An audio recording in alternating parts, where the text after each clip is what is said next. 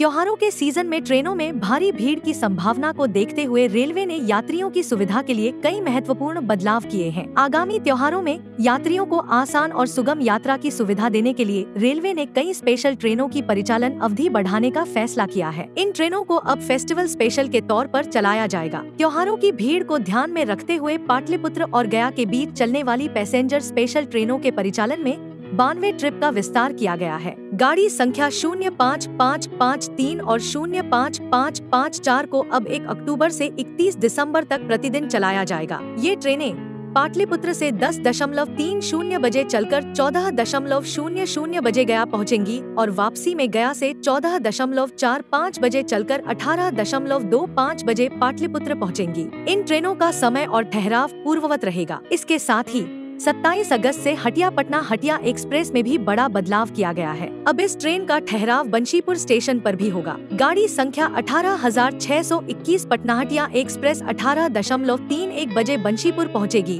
और अठारह दशमलव तीन तीन बजे आगे के लिए खुलेगी। वहीं गाड़ी संख्या अठारह हज़ार छह सौ बाईस हटिया पटना एक्सप्रेस शून्य आठ डॉट इक्यावन बजे बंशीपुर पहुंचेगी और शून्य आठ डॉट तिरपन बजे आगे के लिए प्रस्थान करेगी।